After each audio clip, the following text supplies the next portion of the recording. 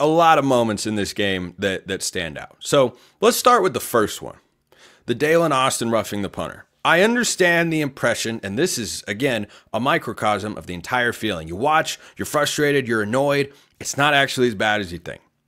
So you watch it and go, well, what's he supposed to do? He runs into the guy. The ball wasn't tipped by rule. By rule. This was one of the few good calls from the officials. And by the way, I have no idea what they were looking at on that Terrence Ferguson touchdown. But hey, my prediction came to pass and T Ferg scored.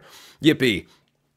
I don't know what I, don't know what, what was going on there. But if the ball is not tipped and the punter has established himself in a position back there, which is a subjective call, but I actually thought they got it right.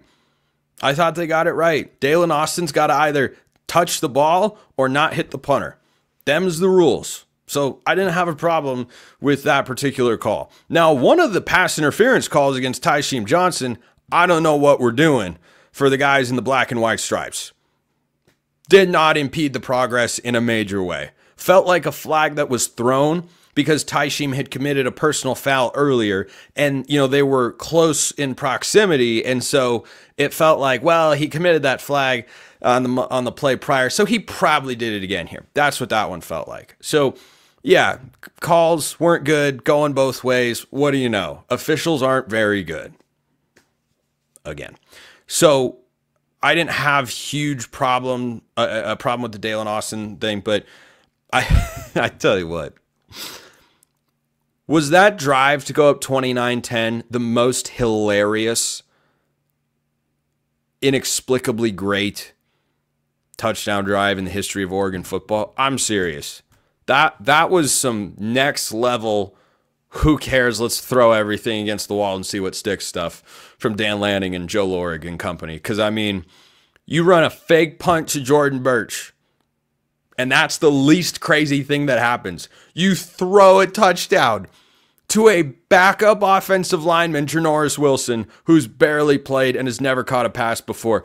And then you run the two point conversion. You don't need it. You have no practical need for a two point conversion. You're already up 27 to 10, but you say, let's work on it and let's involve Josh Conerly, the left tackle. Oh! Uh, Dan's just a maniac, man. I don't know what else to say. I don't know what else to say. A big man touchdown. Special shout out to my buddy Alex, who's an offensive lineman back in high school.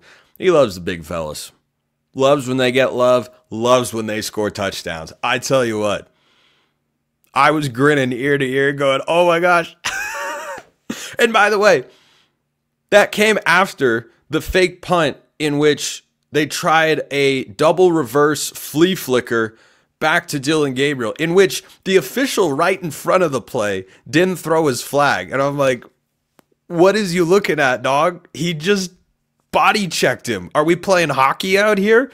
You can't do that while the ball's in the air. And then the other official threw the flag. So they eventually got it right.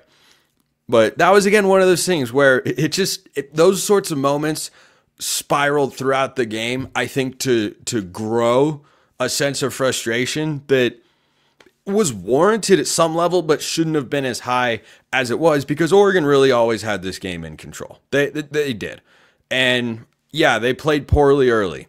Then they found some explosion in the passing game. Jordan James had the nice catch and run. Noah Whittington had a great game. Uh, he ended the game with, wait for it, wait for it, wait for it. Got to get this right. 13 carries, 77 yards, and uh, no touchdowns, but had some really good looking runs. The 28 yard scamper he had was phenomenal. And Jordan James only seven carries in this one. I, I think they're just keeping him fresh that that was that was the indication. I'll talk about that more uh, in in the third segment because I think that happened with a couple of different guys. Because health is certainly something that I think everybody is monitoring at, at this point in the year. But that that drive was just sicko behavior. It went from 21-10 of like, oh, is this going to be uncomfortable? Is this going to be to wait, Jordan Burch, Janoris Wilson, and Josh Conerly were all involved in touchdown or first down moving plays on the same drive what are we doing? like, it's so great. It's so great. It's just, it's phenomenally good. Speaking of Jordan Burch, that was the Jordan Burch we saw earlier in the year, early in the game. And frankly, it was a bit of relief. That was the moment where I knew, yeah, Oregon's got this. You know, the sloppy offensive play, that can linger. You have a turnover here or there, maybe, or they weren't great in every third down situation. I thought Whittington had a good game. I, I think Noah Whittington single handedly cost Oregon a third down conversion. I, I'd have to go back and watch the play again, but there was a third and one, forget which quarter, but Gabriel's running an RPO and he tried to pull it from Whittington's stomach, which was the right play. And Whittington, I think, just kind of took it from him. And Gabriel had two guys open on the RPO, or he maybe could have run for it.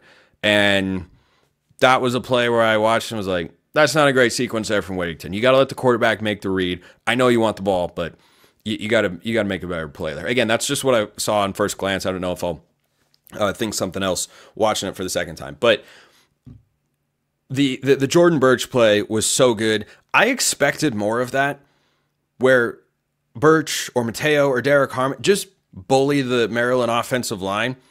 Didn't happen a ton. Only two sacks. They did allow just 2.7 yards a carry. I thought there'd be a little more pressure early in the game.